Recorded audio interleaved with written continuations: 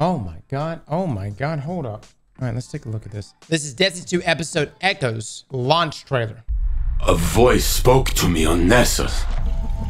I could not deny its commands.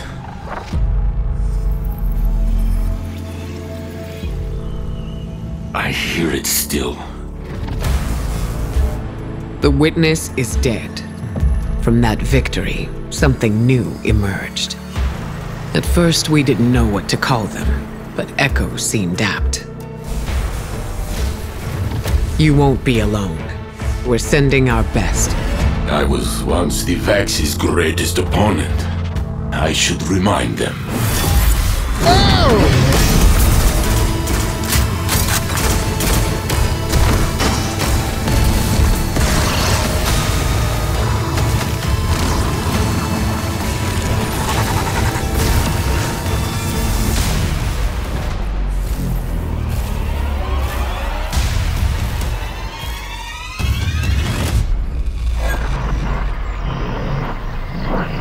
Dude, it's gotta be Maya.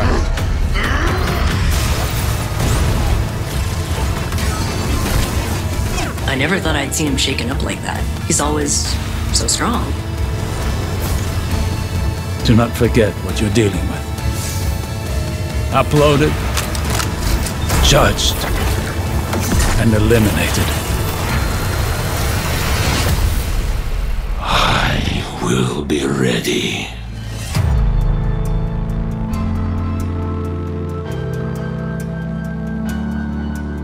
Dude.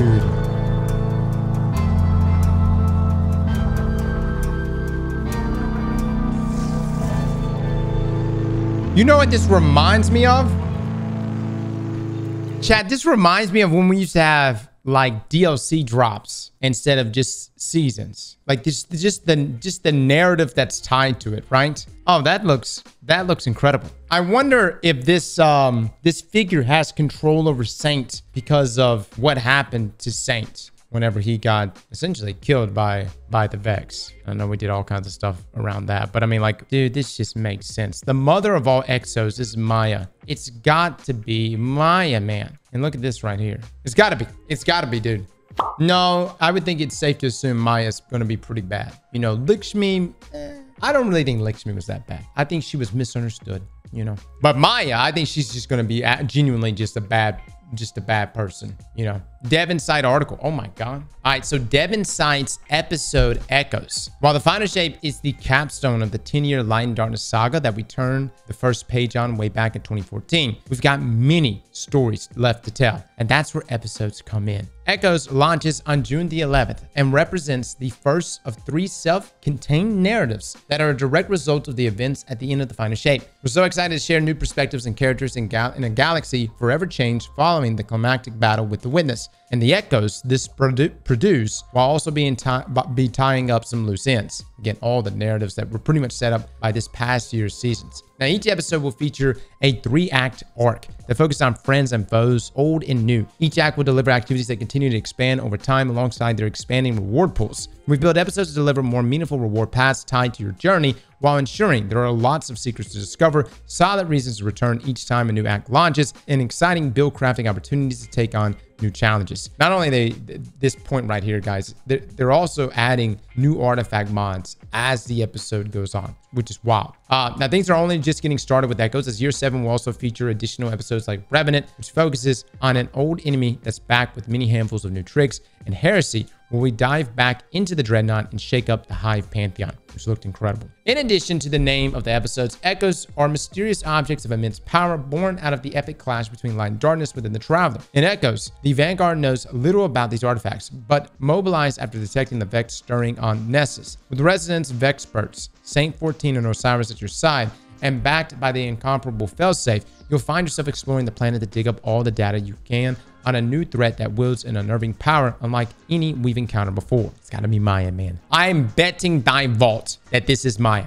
Now, new activities and missions launching in each act. Like every episode released in year 7, Echoes will feature three acts, each about six weeks in length, with Act 2 launching on July 16th and Act 3 going live on August the 27th. These are key points in which new quest chains will unfold alongside the addition of new activities that feature new rewards. In Act 1, you'll be introduced to the new three-player Breach executable activity. Uh, you'll test your mettle engaging in an active combat zone on the transforming surface of Nessus while attempting to track down ancient Vex technology. Failsafe will run intel, pointing you towards hotspots of strange planetary activity while you fend off enemies bent on taking these technologies for themselves. Dude, I mean, the way it looked like in the trailer, the way it looked, it almost seemed like the planet is going to be changing a bit, which is pretty wild. I mean, it almost feels like a, a true live event. Because it's just like one thing to have Vex portals pop up and you're fighting stuff. It's another thing like to have things actually getting altered. You know what I mean? Now, providing your mastery over breach executable means you and your fire team will secure more Vex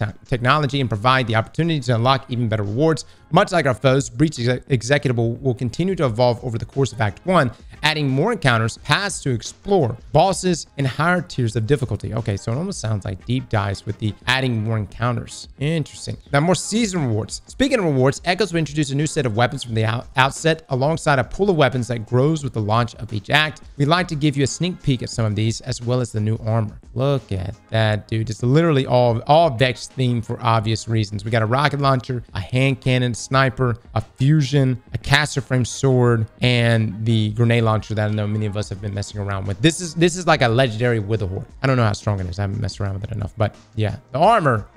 What the, the hell is that? Bungie just took Cenotaph and turned it sideways. Oh, I just got told that this is not a, a, a sniper rifle. This is a scout rifle. What? Okay. A 120 scout rifle. Gotcha. Dude, look at that shit, man. Warlocks you know what? I love it. I absolutely love it. You damn blockheads. Now, some of you have already spotted some of the new of the weapons that are available in Echoes. There's also going to be a selection of Season of Dawn weapons reprised with a new origin trait, new perks, and even a new damage type in case of Breach Light now being Strand. Oh, here we go. Okay, so these are the Season of Dawn weapons all making a return. Bungie said they were going to be giving it back. Since they were sunsets, they are now coming back. Origin traits, Breach Light specifically is being Strand. I'm not really sure what other changes are going to be made to these other weapons, but if you miss, I've missed Marty the most I'm ready to get Marty back. To succeed in this collection of new activities, adopt a flexible approach and bolster your loadouts with new armaments designed to face the unrelenting mechanical threat. As a Vex Bruce Lee might have said, be Radiolarian fluid, my friend. Oh my God. I actually, I'm curious to know like what the difficulty is because we just, we just came off of Onslaught which was extremely difficult, especially on the higher wave. So I'm curious to know what the scaling is going to be here. Now, expanding artifact and season pass. The seasonal artifact will also grow and offer new possibilities as each episode develops. While you get the new artifact early in the final shape campaign,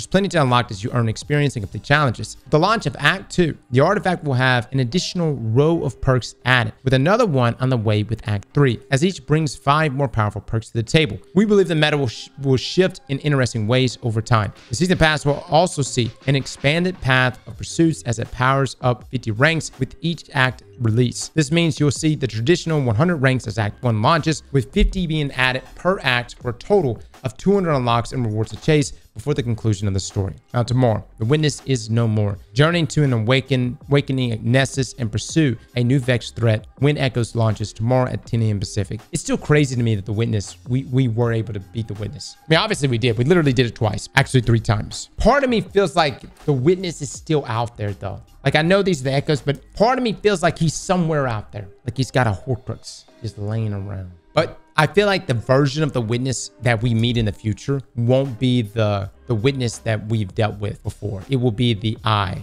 maybe the eye version. All right, that's it, guys. Uh, I'm excited, man. When was the last time we've got a, a trailer for a, a, season or an episode the day before the launch? It's like Bungie's going back to old. We we normally get the trailers like literally the day of the launch, and there's like little to no hype for it. But it seems like Bungie's is really cooking this man and and really pushing this and there's supposed to be big narrative points with this. So i'm excited. I'm also really excited to, to see how this follows up into you know next year the, the year 11 timeline which is going to be frontiers. It's been nonstop man. Bungie's literally blowing their load. I love it. Slap that like button like your mama told you right